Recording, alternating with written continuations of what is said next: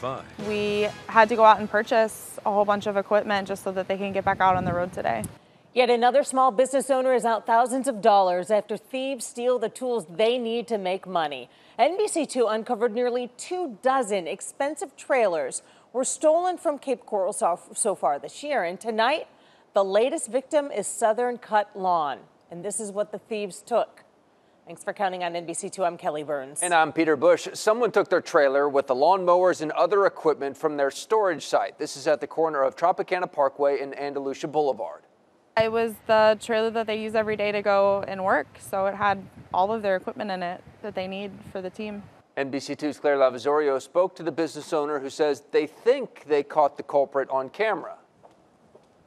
The cargo trailer's always parked in this empty lot off of Andalusia. But early Tuesday morning, someone hooked up the trailer and hauled it away. A landscaping company is left without its lawn equipment, unable to trim lawns for its customers after an overnight thief targets their trailer. I feel like they had to be pretty desperate to, to steal like that. Owner of Southern Cut Lawn and Landscaping, Jennifer Musin, says she had to scramble to get crews back on the job because of it. So it had all of their equipment in it that they need for the team. Although a company's nearby surveillance camera may be the key to catching the culprit, take a look. These car lights pop up next to the lot. The lawn company's Ford truck and trailer are still there. Minutes later, the Ford and the trailer disappear. Then the thief returns the Ford but keeps the trailer full of equipment. This happening just before the brand new trailer was going to get fitted with a company logo. It's harder to get away disguised if you have a company's logo and phone number all over it. Cape Coral police say there are 19 reported trailer thefts since the start of the year, a crime that's costing Musin, other landscapers, and the lawns they work on.